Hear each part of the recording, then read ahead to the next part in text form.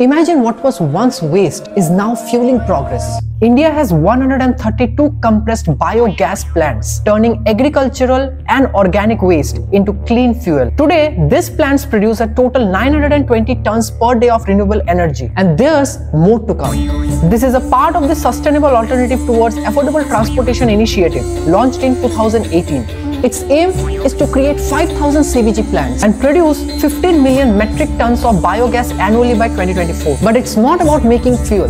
It's about rural income, low emission and greener transportation. The biogas plants are transforming waste into a resource that benefits both the environment and local communities. Last year alone, 94 plants sold over 31,400 tons of CBG and with investments in the sector expected to surpass 5,000 crore rupees in 2026-2027, the future looks promising. India is on the fast track to a cleaner, more sustainable energy future. What was once waste is now powering progress and this is just the beginning. And for more on how we are rethinking industries, follow Unread Why.